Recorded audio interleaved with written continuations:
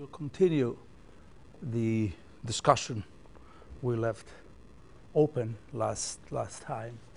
Remember, we were, uh, were saying a few things about Ulysses.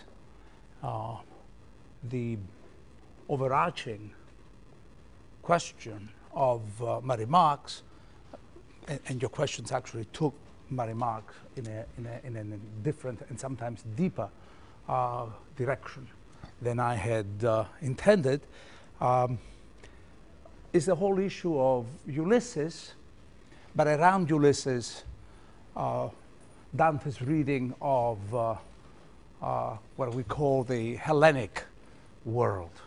Uh, around Ulysses, Ulysses is, um, appears in Canto 26 with Diomed, who is silent. Ulysses, the polytropic intelligence of classical antiquity, the crafty um, mind. He's, uh, he appears as a philosopher, but also as a rhetorician. And at the same, and, and this is exactly that kind of complicity between the two modes that, that uh, Dante wants to explore. Uh, but let me continue with this overarching theme. The, the overarching theme is uh, the reading of, uh, of the Greek, the Greek world. You remember that we saw Eteocles and Polynice, that clearly for Dante is uh, the knowledge of which is filtered through uh, a Greek Roman poet, Statius, who was born and lived in a Greek Roman city, Naples. Uh, so uh, he's, he's, discussing through Eteocles and Polynice the whole story of Thebes, uh, the, the, the two brothers who are enemies, the enemies' brothers, and therefore the tragic history, the tragic knot of uh, Theban uh, mythology.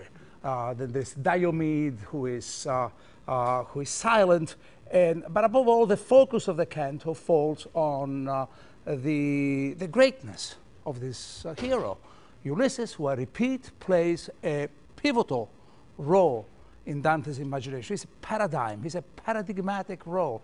Dante can't quite get enough of him, nor can he get over uh, the, the, the phantasm of Ulysses. Ulysses literally appears in his dreams in Canto 19 of Purgatorio. And then Ulysses will also appear when Dante has to measure the great imaginative distance that he traveled when he's at the border of the physical and the metaphysical worlds.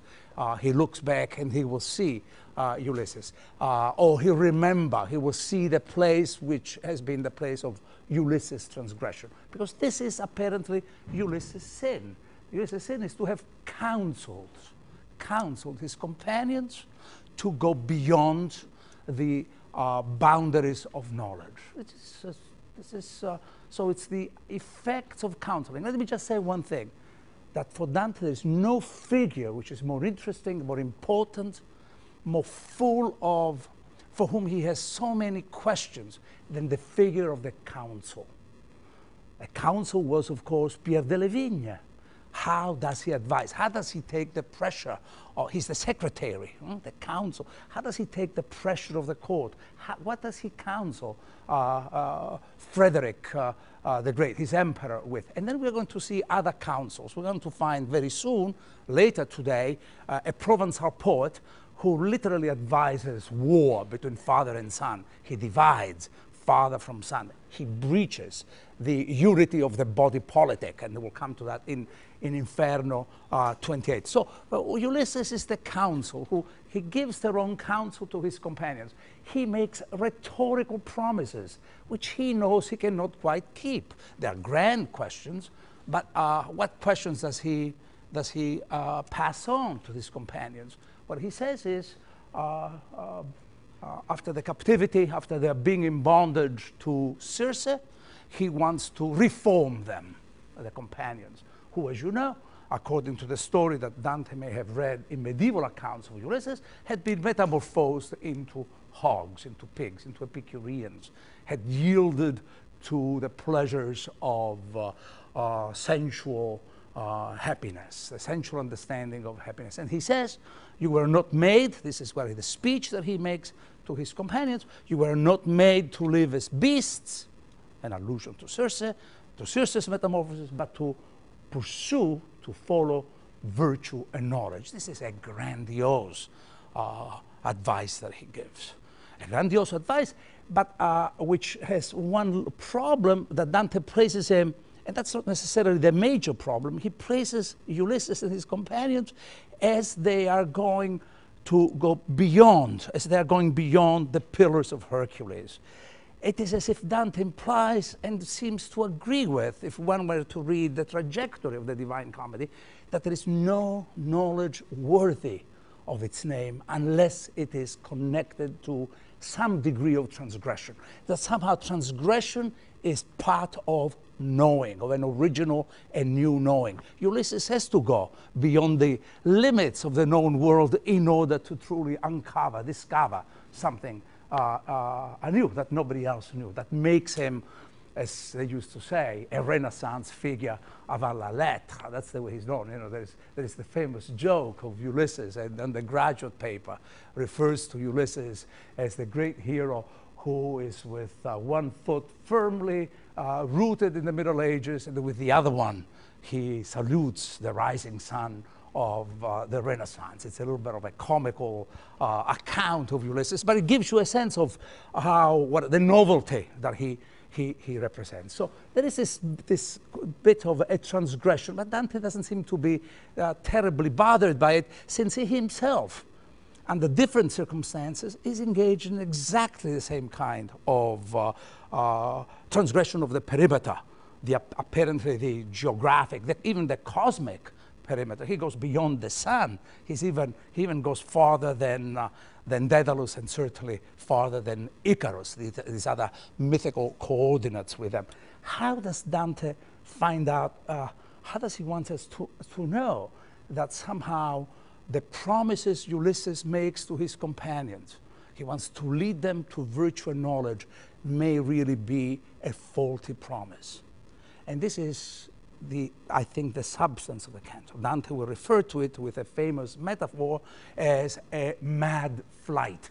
Remember, Ulysses recounts how they made a made flight out of the oars, mixing metaphors as Dante had done before the, the, the, the maritime journey and the air journey. This is uh, the journey, the flight of the mind, the flight of the intellect, as if it were described by a sailor.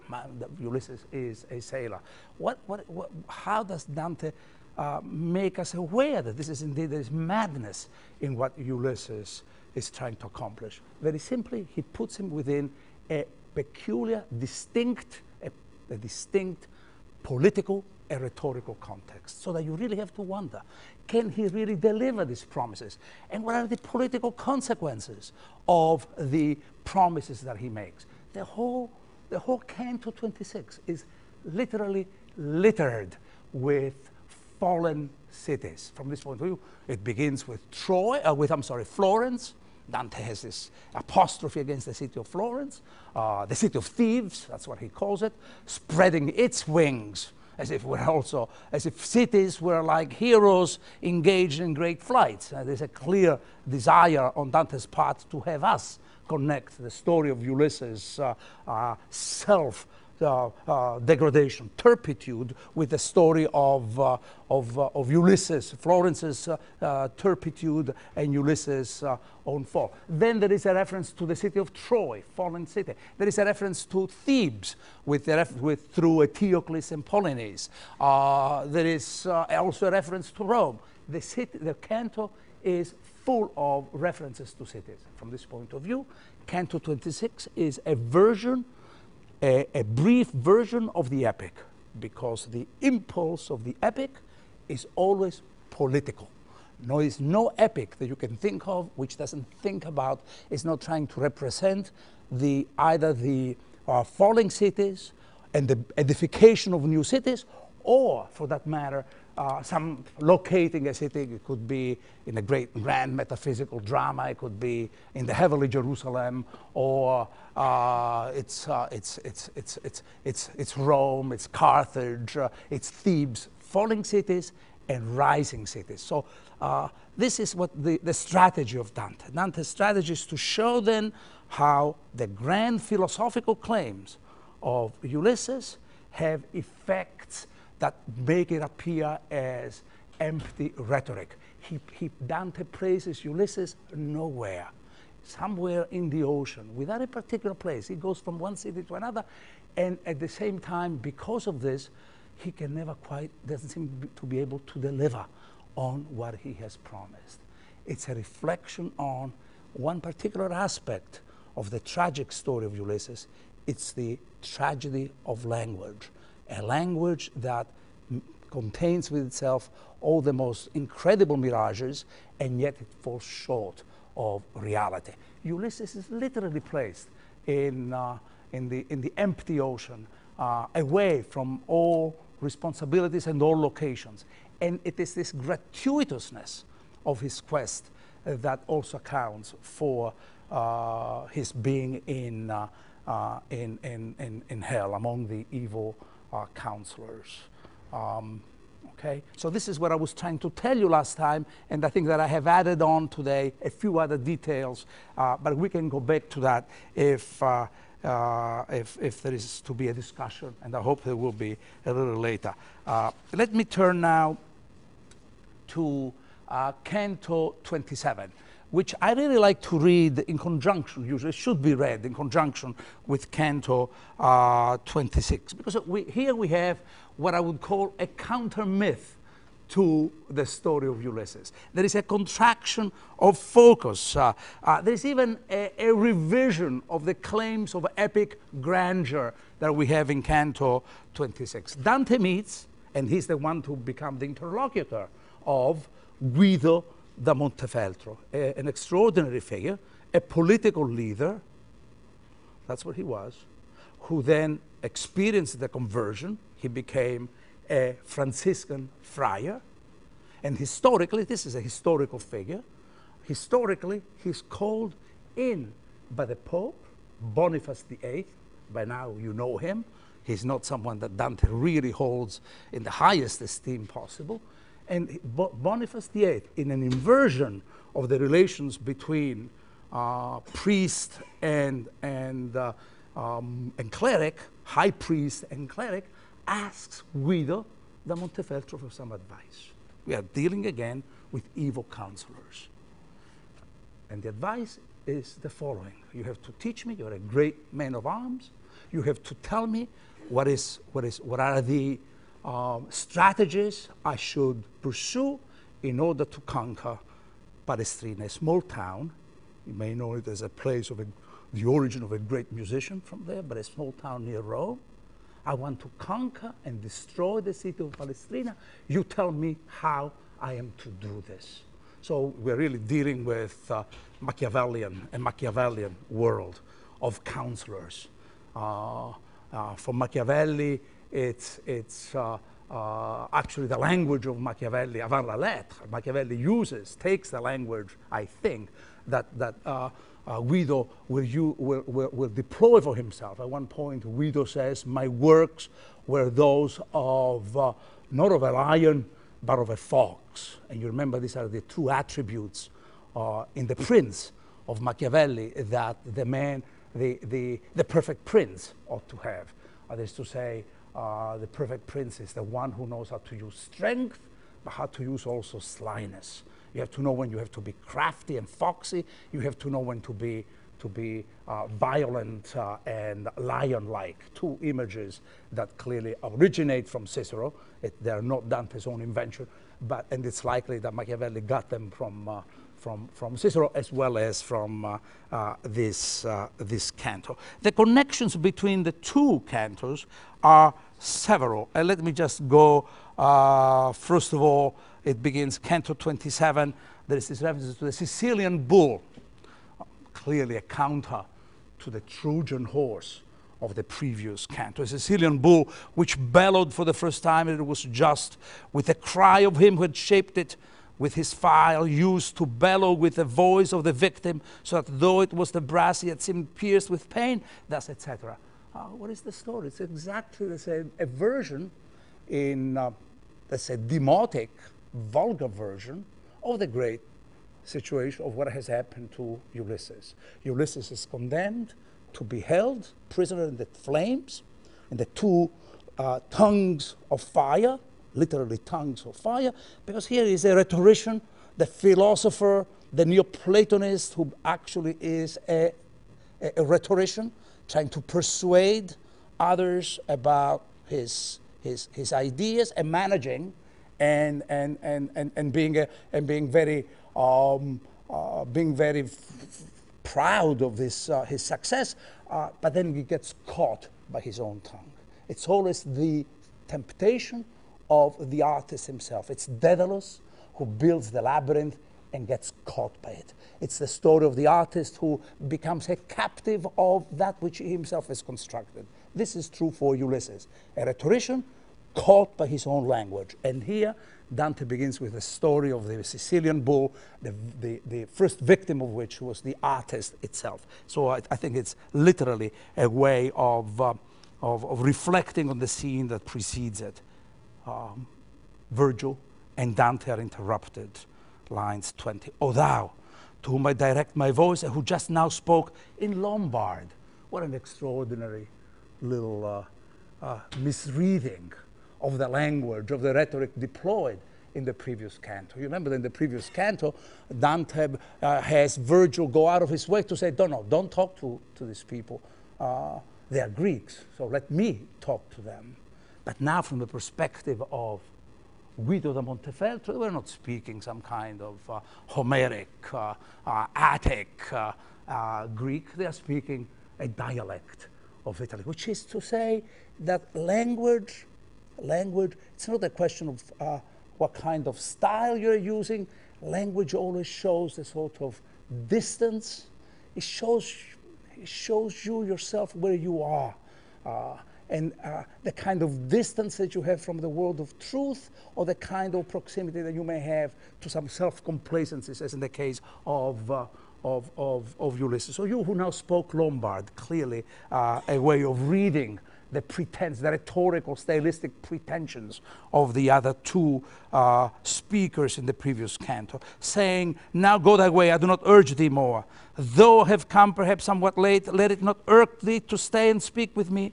Thou seest it irks not me, and I'm burning. If thou hast fallen but now into this blind world from the sweet land of Italy, whence I bring all my guilt, tell me if the Romagnolese have peace or war, for I was of the mountain there between Urbino and the height where Tiber is released, as opposed to the uh, lofty rhetoric of, uh, of, of, Ulysses in the previous canto, who speaks through the grandest generalities about what is the, what is the destination and destiny and fate of human beings, virtue, knowledge, the journeying to the West, going through a hundred thousand perils. Here the language becomes, uh, there's a sort of deliberate diminution, a contraction of focus, as if uh, uh, the language becomes one of, uh, indeed, local uh, peace and war between neighboring uh, towns.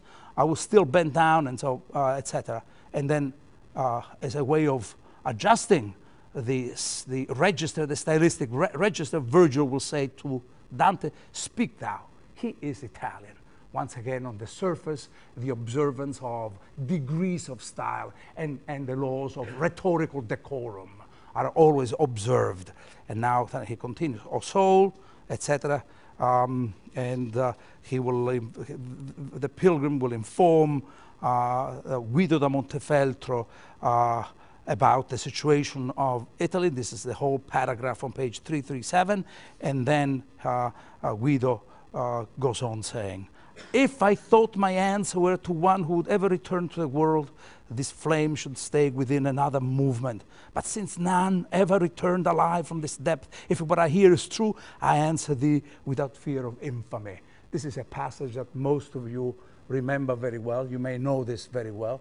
It's a passage that uh, Eliot, uh, T.S. Eliot uses as uh, uh, an epigraphy, an epitaph actually, for the love song of Prufrock.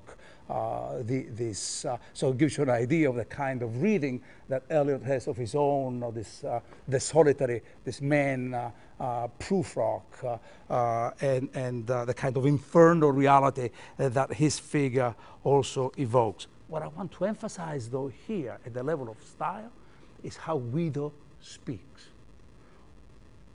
Curses, hypothetical sentences, parenthetical remarks, that just a style that is deliberately goes contrary to the smooth, high, once again, high style of Ulysses in the preceding, preceding canto. And then I was a man of arms, and then a corded friar, thinking so girt to make amends and indeed, my thought had come true. But for the great priest, here is the curse against Boniface, may ill befall him who put me back in the old sins. And how and wherever and wherefore I would have thee hear from me. While I informed the bones and flesh my mother gave me, uh, another reference to birth, with which, as you know, characters start telling us their story. Uh, making of birth, the, the first, a major event of their lives. And then whatever happens, whatever biographical account may be a descent from or a deviation from the promises that that birth may have uh, held. Uh, while I informed the bones, etc., um, my, uh, my deeds were those not of a lion, but of a fox. This is Machiavellian, uh, eventually will become Machiavellian language. So we are moving into the secret halls of power there where big deals are struck. Big deals like the destruction of cities, where the Pope will ask the secret advice from his counselor. And let's see what he says. I knew all wiles and covert ways, and so practiced their arts. Um, I cannot but remark to you how Canto 26 also takes place through the language of concealment and covertness, right? Uh, even, uh, which is uh, in Italian, it's actually the language for thievery at the same time, the furtiveness of it all. Remember, Dante speaks of the sun through a periphrasis to say that it was hidden, uh, the sinners are hidden and concealed from view in the tongues of fire. Uh, this is the language of manipulation, of the political stratagems and machinations. And here it becomes highlighted and made visible to us. Uh, so he continues the covert ways I came. When I saw myself come to that part um, of my life where every man should lower the sails, as if he were another, another mariner like Ulysses, and gathering the ropes, that which before had pleased me, then grieved me, and with repentance and confession I turned friar, and another curse, woe or apostasy, woe is me, it would have served the prince of the new Pharisees, being at war a year, near the, uh, at war near the Lateran, and not with Saracens or Jews, for every one of his enemies was Christian, and none had been as, at the taking of Acre or trading in the land of the Soldan, regarded neither the supreme office and holy order or holy orders in himself, nor in me, that cord which used to make its wearer lean. But as Constantine, oh, it's really, we're moving within the I said, I, I said the, within the, the halls of, that we said the Vatican today, at that time was uh, the Church of uh, St. John the Lateran, which was the residence of the, of the Bishop of Rome. Uh, and this was famous then, as it is famous now, for the mosaics about Constantine's donation to Pope Sylvester. So the whole issue of the, the temporal power of the papacy really is to be seen, is to be glimpsed through this, uh, this uh, uh, scene of, uh, of Guido and Boniface. Uh, he asked counsel of me, and I was silent, for his words seemed drunken. And then he spoke again. This is like the extraordinary caricature of the, of the Holy Office, giving uh, the, the absolution before even the commission of the crime. You can go and do what you want. I give you absolution before you do anything. So it's, it's do not let thy heart this mistrust. I absolve, thee henceforth, and do thou teach me how I may cast Palestrina to the ground. I have power to lock and unlock. And you, Peter, to the uh, um, heaven, as thou knowest, for the keys are two, which my predecessor the, the, did not hold uh, uh, dear. This is the famous story of Celestine the fifth, who gave up the office of the papacy and who stands even in the historical recollections and scholarship of today as the embodiment of one of a, of a pope, of a figure who understood that the drama and the issue is always between power, maybe a little bit too dualistically, and holiness, and how the two, for Celestine, were really incommensurable and cannot quite, there could not be a dialectic between, uh, between the two, and he gave up. Uh, Dante refers to him uh, with a little bit of uh, um, harshness uh, for uh, not being heroic enough and, and withstanding the tide of corruption and deciding to retreat to, into contemplative life. Um, so then the weighty, let me continue. This is a little sermon that I apologize for. Let me continue with this. Then the weighty arguments drove me to the point where silence seemed to me the worst offense. And I said, and this is the advice he gives simple and spectacular in its simplicity Father, since thou dost cleanse me from this sin in which I, ma- I must now fall, I love that I must I cannot, I find it so irresistible, especially because now I'm guaranteed of this absolution. I can really go on and do whatever I want. So there is not just a coercion on Guido, but a kind of pleasure that he feels. You know, he, he feels now that it's a necessity for him to go out and perpetrate and, and commit the evil he will, he will perpetrate. And this is the, pro, the, this is the advice. Large promises with scant observance will make the triumph in the lofty seats. What is he saying? Make promises and plan not to keep them. Go and tell the people in Palestrina that you are going to respect them, that you are going to make them even rich, whatever you want to tell them. Then, of course, as soon as they open the gates of the city, don't keep this, any of these promises. This is the a restatement, by the way, that one that finds its original source in Cicero's text about rhetoric, which is known as, uh, it, it's not really Cicero's, but it was thought to be Cicero's. And this is, uh, this is the text. It's to the, uh, from the, the, uh, uh, the person to whom it was uh, dedicated. It was meant for this Herennium. it was thought in the Middle Ages to be Cicero's rhetorical treatise.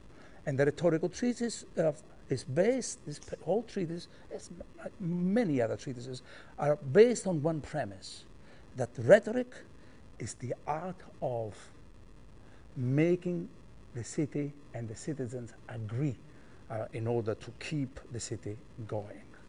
And in a, in a properly uh, governed city, promises are made and are always going to be observed. It's a way of explaining rhetoric in moral terms. What Dante is saying is that those kind of dictates, those kind of propositions can easily be turned around, and they are being turned around in the practice, in the historical practice. Then, etc. As soon as I was dead, Francis came for me. There is a little rivalry between Francis and the devil, uh, fighting over the soul of Guido, and Guido is uh, uh, Francis loses, and uh, Guido is, of course, here in hell. I mention these details because you will see uh, that Dante will pick up this genre of medieval disputation when later in Purgatorio, in a, in a couple of weeks, we'll, we'll, we'll hit the canto, Dante meets Guido's son. Because in this poem, fathers and sons do not necessarily belong in the same moral space. And sons do not necessarily follow the in the footsteps of their of their, of fathers. Um, so you will see how Dante echoes this whole scene, and, and, this is a kind of prefiguration. I'm giving you a prefiguration of things to come. And now we come, and, and I really want to pay a little bit of attention to this canto 28, because we're entering the, the world of the truly tragic world, uh, the, the, tragic, the, the most tragic section of the Divine Comedy. And I mention that because uh, from here to Canto 33, the story of Ugolino, we, we're going to talk about what does Dante think of tragedy and how can he go on really uh, envisioning the tragic. After all, I just called the poem, as he calls it, a comedy.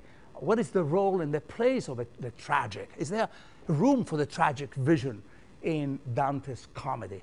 And the point is that the tragic, I want to make this point now, and I will be elaborating it as we go on next time, especially next time. The tragic is never the final vision. And I will go on even saying something now that the essence of, of tragedy is always linguistic for Dante, has to do with issues of the, the inherent ambiguities of language, the impossibility of decoding and deciphering what is being said by one particular, by state, one statement as opposed to another. Here Dante begins then with a reflection about tragedy. Where are we now? We are in, well, Canto 28. It's the, the, the Dante encounters the one figure, uh, uh, the figure of so Bertrand de Born, who was a Provençal poet.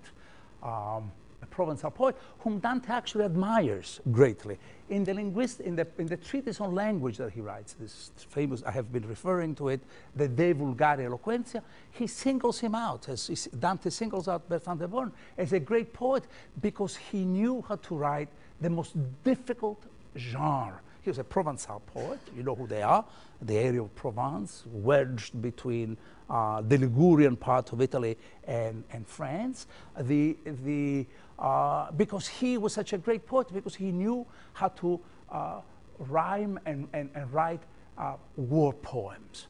So this is really the most difficult type of poetry, aesthetically very difficult to, to sustain. And Bertrand de Born was a genius at this. Now Dante places him among the so-called makers of discord. This is in Canto 28, Bertrand de Born. Uh, and let's see how Dante starts with a reflection on war. I want to tell you a couple of things. This is uh, a canto, um, uh, a difficult canto. Uh, Dante begins with uh, uh, the story of, by, by, with a reference to ineffability. Would you please read the passages? I, I, my, my, my version is my English version, from Canto 28, the first paragraph. Who could? Uh, yes. Do you like to do it? Would you like to do it, sure. please? Um, who could ever tell, even with words untrammeled and the tale often repeated, of all the blood and the wounds I saw now? Surely every tongue would fail, for our speech and memory have not the capacity to take in so much. Were all the people assembled again who once in the fateful land of Apulia bewailed their blood shed by the Trojans, and in the long war which made the high piled spoil of rings, as Livy writes, who does not err, with those who suffered grievous strokes in the struggle with Robert uh. Guiscard, and those those others whose bones are still in heap, heaps at Ceperano, where every Apulian was faithless, and there by Tagliacozzo, where where old Alardo conquered without arms, and were one to show his wounded limb and another his cut off, it would be nothing to compare with the foul fashion of the ninth ditch. Very well read. Thank you. Thank you so much. Excellent. Uh, so what is this metaphor? It's, a, it's the, it's, we could call it a, the adoption of a, the, the so-called ineffability topos. You understand what I mean by ineffability topos? Is to say, usually it's uh, a, a device uh, a poetic device where the poet admits the difficulty or even impossibility of describing a particular reality. It's called ineffability.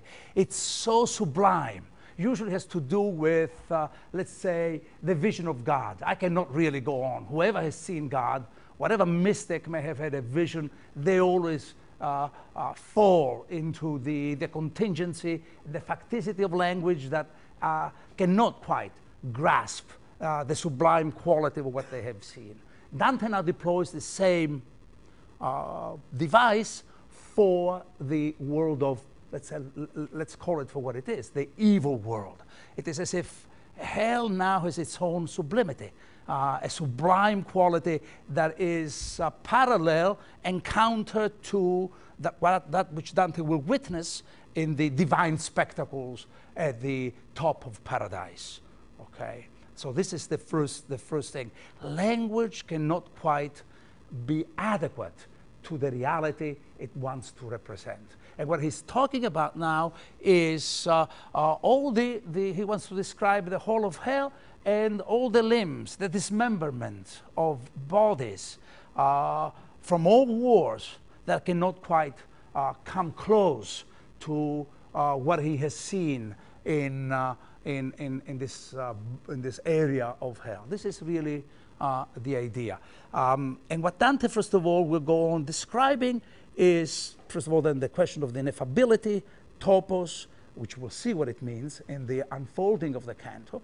Um, and let me just continue actually with this. Then uh, uh, the canto really comes to a close with the meeting of a, with a poet, Bertrand de Born. So we go from uh, the language of, uh, of in the ineffable, um, and a language of the ineffable that is, has also this little detail, a reference to Livy, a Roman historian, and his voice and his authority are unquestioned.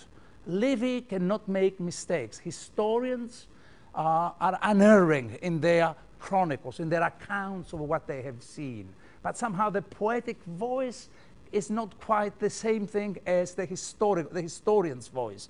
Do you see what, what the, the tension is in the first few lines of the poem? And then the, the, uh, the canto comes to a close with uh, uh, a different form of uh, poetic reflection. Uh, Dante is here describing something altogether different. The meeting of Bertrand de Born.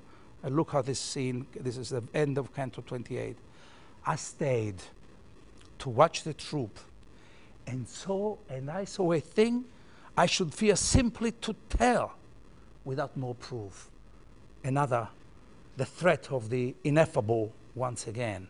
The poet is unable to represent, uh, feels the, the difficulty of representing that the extraordinary quality what he has seen. But that conscience reassures me, the good companion which emboldens a man under the breastplate of his felt integrity. Verily I saw, and I seem to see it still, a trunk without a head, going as were the others of the miserable herd. And it held the severed head by the hair, swinging in its hand like a lantern. And that was looking at us and saying, Woe is me. Of itself, it made for itself a lamp. And they were two in one, and one in two. Strange arithmetical language. The divided body of Bertrand de Born. He is a maker of discord and he's being punished by having his own body divided from itself. I'll come back to this metaphor in a moment. But the idea for now, stylistically, is that the two is one and one is two. How it can be, he knows who so ordains. And, and mathematical language, as if there is no equality even possible. Remember, that was exactly the language that he, was, he used for the metaphor uh, the impossible metaphor to contain all the description of all the battlefields and all the dead people at the beginning of Canto 28.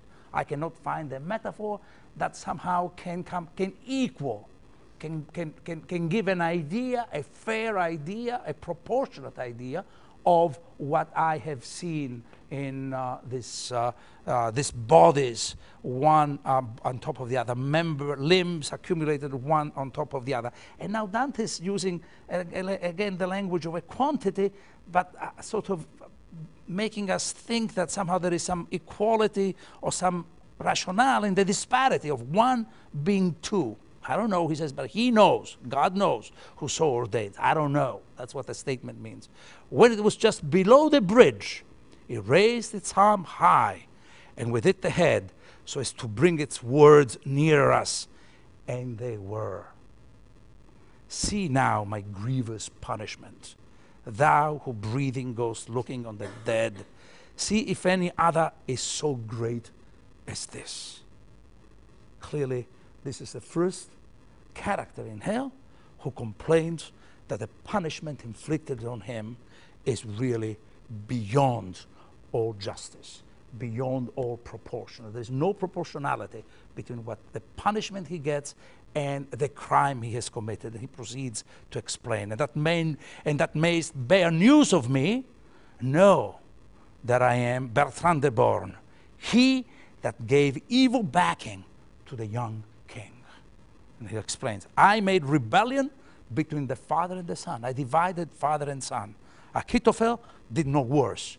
a biblical uh, typology for Absalom and David with his wicked goadings. Because I parted those so joined, I carry my brain, alas, parted from its root in this trunk. Thus is observed in me the retribution. What is going on here? Uh, it's a number of things. Let me just explain a few things. Why should Bertrand de Born, uh, the poet, be the, the one who bears now visible the mark of the division on his own body? We know that this is the way punishments occur. The idea of a punishment in hell is that a punishment is just usually the prolongation of what the extension of what has chosen to do in this life.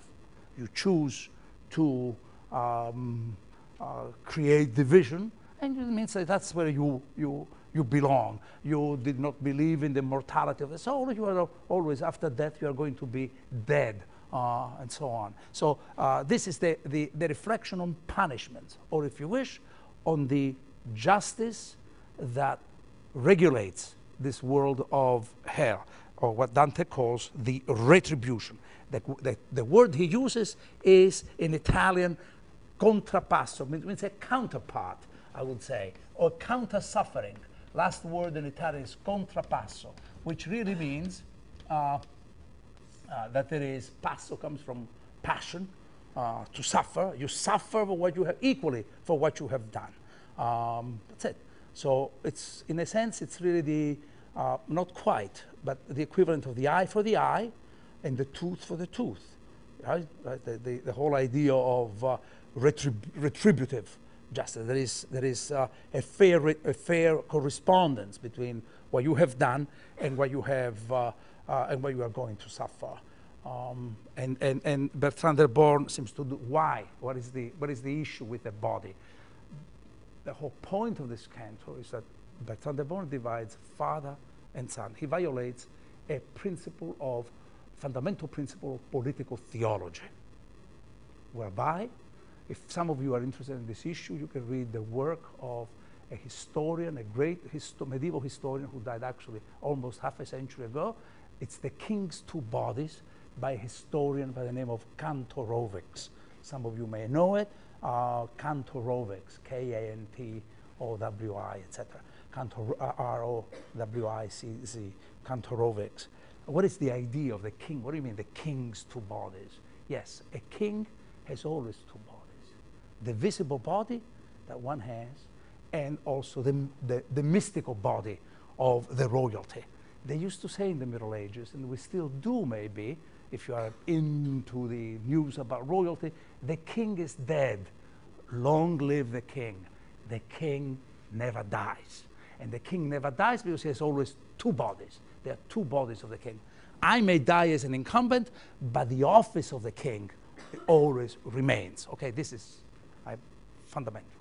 That's one idea. So by dividing the father from the son, uh, Dante has Bertrand de Born uh, breaching the unity of the mystical body of the king. The two father and son are really one. The other metaphor that is behind it, which we already saw a little bit uh, um, sort of uh, traced, uh, finally traced uh, in, the, in the canto of uh, uh, in Canto 6 of, of Inferno, was the idea of the body politic that I have, that you, you may remember, remember I mentioned to you, uh, the famous fable of Menenius, who thinks that the body, the city, is really constructed like a body, an organic, uh, a set of correspondences, organic correspondences, like the human body. Uh, there's no difference between, there is a difference between patricians and plebeians, that's Menenius' argument, but they're all part of one orga organic, unified whole. That is true for the body politic from a Roman point of view, but it's also the principle of the so-called mystical body of the church. The St. Paul, in the letter to the Ephesians, refers to the church as the mystical body of Christ, a kind of, uh, so that the state becomes a secular counter, a secular uh, extension of this mystical body. The church, we are all members, right? Some of us are thumbs, others are just toes or whatever, hair, whatever, in this body, mystical body of Christ. I mention this because Canto 28, you have a political focus on the, the, the Rome or Bertrand de Born uh, breaching the unity of father and son, but also a reference to Muhammad. And I know that there are a lot of people who just find this just absolutely odious that Muhammad should be placed, uh, the, the, the prophet should be placed here in this area of Inferno. The only argument that one can have about this is that for Dante, Muhammad was actually a member of the church who created a schism, which is different from heresy. You know, we saw the heretics in Canto 9 and 10. The heretics are those who do not believe in certain uh, tenets of uh, the doctrine. The schisms are those who want to double, who divide. The word schism in Greek means to tear apart the unity, the world of unity, and doubling it. Okay, so this is really um, the, the, the argument, uh, uh, some of the, the, the, the, symbols and images of Canto 28. But let me go to the actual heart of this uh, problem, the question of justice uh, and the question of Bertrand de Born. We'll go back to that uh, when I when it was just below the bridge. See now my grievous punishment, thou who breathing goes looking on the dead. See if any other is so great as this. Bertrand thinks that there is no justice uh, in this hellish world that he inhabits. Uh, all the ideas that uh, uh, the ethics of Aristotle really account for the vices that are so prevalent here is just not true. Not only that's not true, uh, uh, this idea of the retribution, is it, is it an idea, this idea of the contrapasso there, is that an idea that Dante really believes in? There is a lot of, what kind of justice is that, what the justice that we have in Inferno? And let me just give you a little bit of a, a, a piece of intellectual history about this whole issue. And I, I, want to make it very simple because it's really not a difficult problem anyway. It's not that I'm, I'm, I'm, I'm, I'm uh, simplifying the issue. It's, there are two types. The people who think, the, the, the thinkers who think about this issue are, of course, Aristotle in the Ethics, and Dante is aware of the great commentary on Aristotle's Ethics by Thomas Aquinas. He keeps them in mind, and, and uh, they discuss justice, and they wonder, what is justice? And this is a great problem for Dante, because Dante is, I have been calling him a number of things, but he's clearly a poet of justice. He really believes the whole point of his quest is to establish some degree of justice in his soul, try to find out justice in the city, and, and, and, and, and probe the possibility of some universal justice as opposed to Lucretian ideas of anarchy and chaos in the cosmos. So there can be some continuity between the outside and the inside world. So what is the idea of justice? What many types of justice do they have? They usually think about two types of justice. The so-called the uh, retributive justice, which is the one that we have in hell here, but also distributive justice. Does Dante, is Dante aware of the two forms? Yes. It's impossible not to think of the representation of the wheel of fortune in, in Inferno 7 as anything less than a case of distributive justice. The distributive justice follows an arithmetical model. That is to say, in a distributive justice, as imagine the wheel of fortune, some have more, some have less, some have less. If someone has five, you want to establish some justice, you take away from one who has five and give to one who has zero or, or one, and you create some kind of equality. Distributive justice has equality as its aim. In retributive justice, things are a little bit different because if I say, and Aquinas reflects on this, this is not a, a concern of at all of Aristotle, if I say an eye for an eye and a tooth for a tooth, am I really establishing justice? Or am I just doubling the, the offense that has been perpetrated. If I, someone takes an eye, plucks an eye out of me, uh, if I do the same to whoever has damaged me that way, am I having, am I being restored in my original position? No, no, that doesn't happen. So how do you, how does one go around thinking about the whole question of retributive justice? Aquinas, and this is also Aristotle who goes on thinking, and says, well, of course, it's always very difficult to find exact counterparts between crime and punishment. If a, if, if a clown were to um, slap the king, it's not enough for the king to slap the, the clown, clown back, because one might say, well, it's, say it's one slap. There is the violation of the office. And then both uh, Aristotle that is implied, and that can never quite be restored by having the king slap the clown back. Both Aristotle and Aquinas said that's why money was invented. So one can really give whatever there is a principle of inequality, can go on repaying it through other forms, other punishments. The fact is, I think, that Dante, first of all, I want to go back to the structure of the canto. It's crucial that Dante should think about this fundamental problem of justice, which is the aim of the ethical structure of the poem, and the Inferno in particular, through a poet, through Bertrand de Born. Not only through a poet, it's Dante himself who has just been announcing the impossibility of finding through language the exact metaphor, the exact correspondence between a reality and its representation. What Dante is doing is telling us how arbitrary are his own judgments in hell, how the notion of a precision in, uh, in the way punishments and uh, crimes are related are never quite reliable.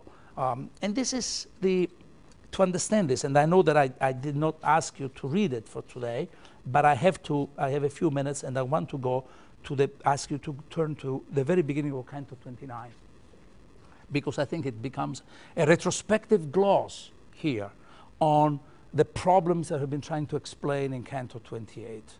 Dante goes through and other forms of, he will enter the world of the so-called uh, alchemists, uh, uh, those who are engaged in diabolical mutations, unnatural mutations, personifications, impersonators, uh, disguises, etc. But before he gets there, there is a little long passage. It's the first time in the whole poem that usually you know how what the, the narrative economy of each canto is. Dante comes to the end of the poem of, of a canto and usually closes off with that particular sin or the particular sinner.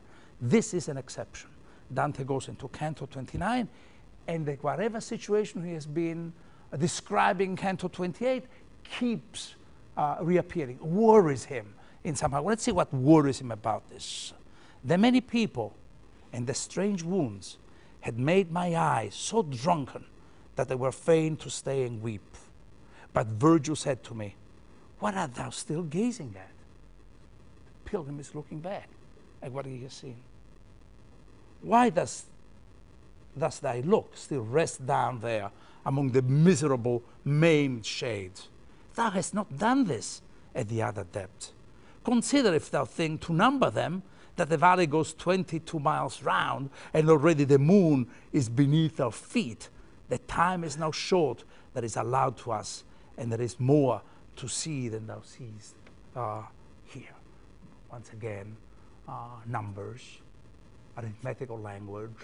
What is the what is the measure? What is the how do we measure? How how are we going to determine what is the exact correspondence? And just just to let me give you a, a little uh, uh, aside about this.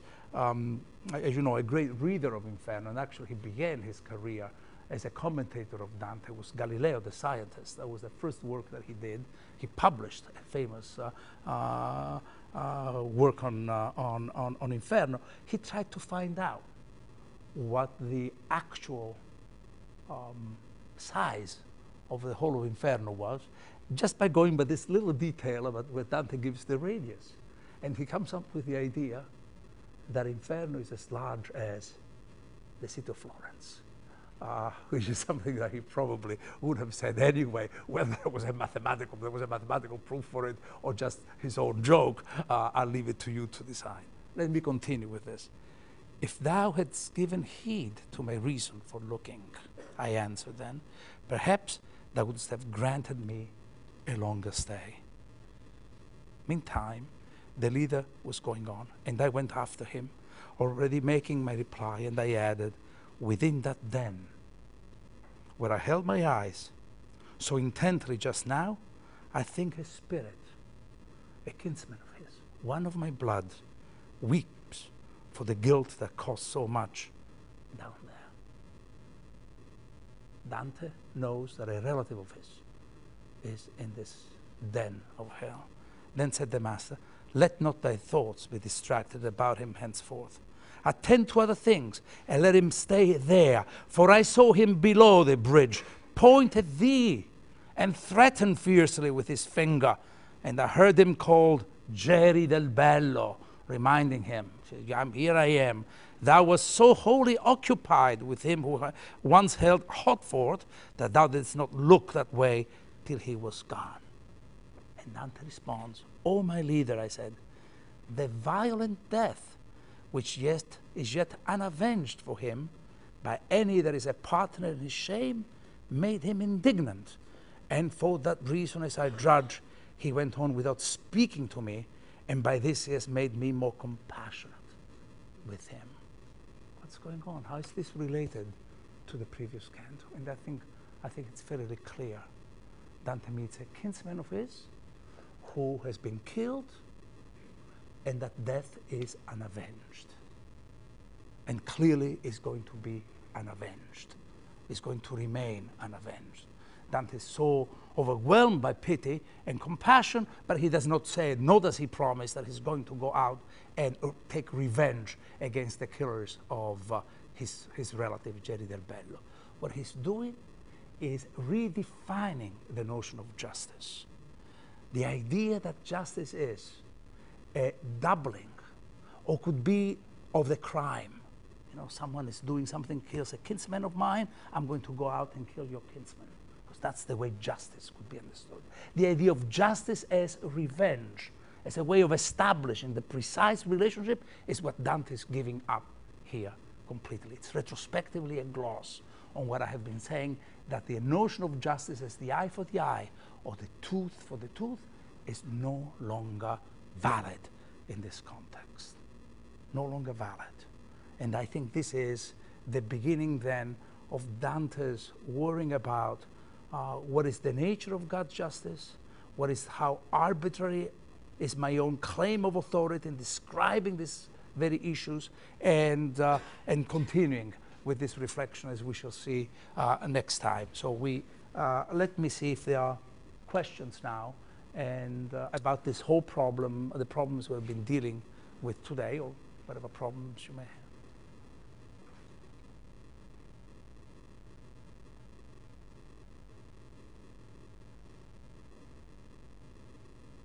Yes.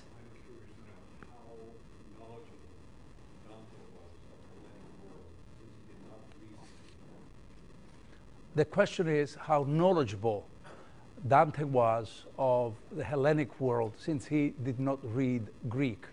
And my answer is yes, indeed, he did not read Greek uh, at all. Um, he, uh, for that matter, not did Aquinas really read Greek. Uh, but so he knew the Hellenic world through Latin translations of texts like uh, Aristotle's uh, was being the ethics, uh, the treatise on the soul, Plato he knew. He knew medieval romances that would be dealing with the so-called, you know, medieval romances deal with the matters of France, the matters of Rome, the matters of Brittany, uh, the Roman of Alexander, which is part of uh, the Hellenic world. He knew the, uh, he lived in Ravenna, which um, was part, by the way, till the year 1200 and more, and later was part of the exarchy, um, a Greek exarchy. The Church of Ravenna was uh, exarchate, as it's called. Um, so he, he knew he knew this this is the, there were the resources and uh, the conduit of uh, his knowledge of uh, uh the Greek world, uh, Latin, and whatever survives in Latin. I mean, um, for the philosophical schools of the Greeks, clearly Cicero on uh, the ends of man, De Finibus.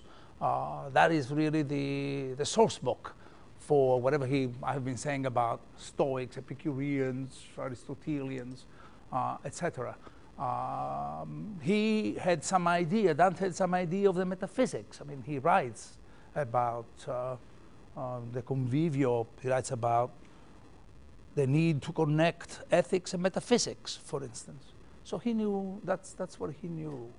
Um, I could even add that I'm sure that um, actually there is going to be in uh, Washington, D.C. in about a year. Uh, we're going to have a conference. We're going to hold it in, in, in, in, uh, in Washington for a number of reasons about the, Dante and the Greeks. So if you stay in touch with me, I'll let you know uh, what happens. But one thing that we are really looking at are the mosaics, the art world, the, the, the relations, the connections with, um, with Greek artists, will be traveling and uh, were in, uh, in Rome, in Sicily. Yes, that's what he knew. Yes? Why is it appropriate for Dante to move on from possible punishment, but for God to keep it in place in hell? Like, how, how does Dante reconcile those two things, that hell is supposedly a just place, but he's not supposed to look back towards, like, Canto 28, or he's not supposed to... Well, the question is, uh, uh, going back to the, the problem of justice uh, in Canto 28, and then 29, how can Dante go on um, having some kind of hesitations about the idea of justice and at the same time hold the place uh, in uh, uh, hell in, uh, in place according to some criteria? Uh, and, and, and, and the answer is um, maybe a little will appear a little bit uh, complicated, but I, am not sure that it's complicated. this whole language of doubts about authority that Dante has the authority of himself as the one who can administer justice, the authority about uh, the, the himself as uh, even capable of uh, remembering that we had, which, which he has seen, and therefore the, um, the authority of the poetic voice. Th this is very extensive and really goes into, into all directions, has a counter to it. That's not the only aspect, the only facet of Dante's uh, text. The way I see that is that he's also capable of taking on a prophetic voice. Um, so that he, he appears as the one who has, by a singular grace of God, been chosen to uh, explore the, the, the, the world in the beyond, which is really caught and, and, and understood in the most physical and direct way. So the two voices are simultaneously present. And so how does one uh, condition the other? I think that that, that is uh, really the tension of this poem. Um, the the uh, Dante's, Dante is, is both a prophet and Dante is the poet who knows the arbitrariness of this construction. He's the poet theologian and the poet, uh, the, the, the, the, the poetic allegorist. Uh, the two voices are simultaneously present. And what is the point of doing this?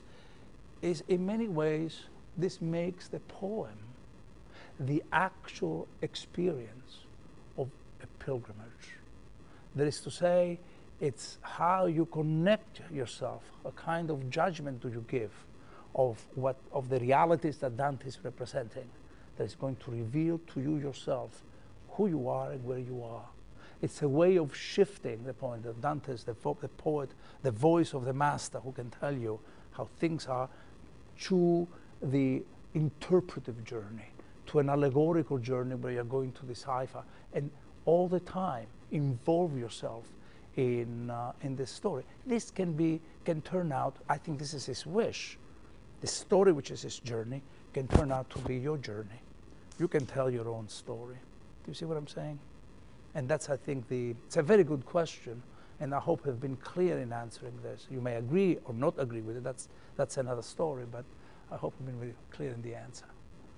Yes?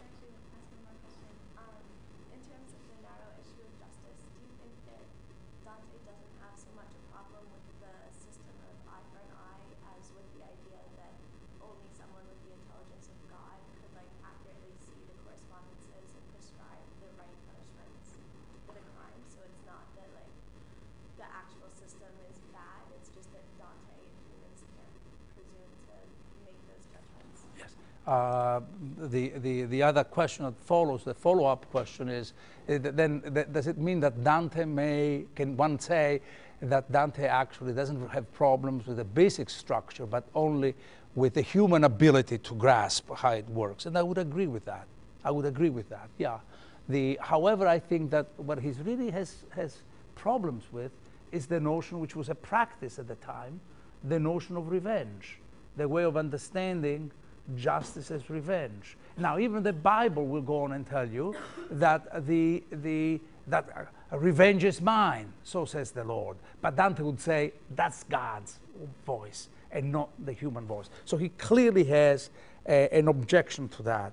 And is there some implication? Because that's really, I think, what you're asking me. I hope that's what you're asking me. Otherwise, I'm completely off. Is there some implication that the universe itself, its divine economy, they may be something unfathomable, right? And I would say yes, that the whole question of justice is really something we cannot quite measure with human instruments. There is one great metaphor that Dante will give in Canto, I believe, uh, 19 of Paradise, where he goes back again to the question of justice. And he talks about justice in terms of the salvation of uh, uh, the Hindus. You know, why shouldn't they be here? I mean, what he, he wonders about that. And the answer that he gives is he says, the question of justice is like the sea.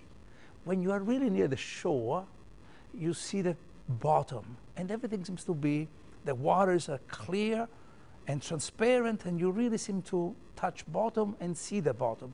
As soon as you go in, then the unfathomable ocean takes over, and the foundation, the ground of it all remains invisible and inaccessible. Do you see what, uh, what the argument, that's the, the argument he goes on giving. It's not an issue that he has resolved here once and for all. He will go back to these questions. I have a question about the term you were using earlier. Um, when, we, when you were talking about the ineffability, um, I couldn't make out if you were saying the trope. Yeah, I called it uh, it's really jargon. The question is, uh, I'm using uh, ineffability trope. Uh, it's, uh, it's more than a trope, it's a, it's a device, I called it topos, which is a, a, a, a place where some, um, you know, they talk about, topos is something that keeps, like a type, keep, keeps repeating and can be used. Dante uses this idea of ineffability well, he's really talking about the impossible metaphor that can hold and represent two different realities. And I think that that's exactly the way he wants us to think of uh, crime and punishment. Okay, and the relationship between crime and pu punishment, which is a metaphorical one, which is a kind of relationship that tries to uh, equal relationship between two terms. I call it topos, T-O-P-O-S, a Greek word. Uh, we call it commonplace. It means place. Uh, it's a common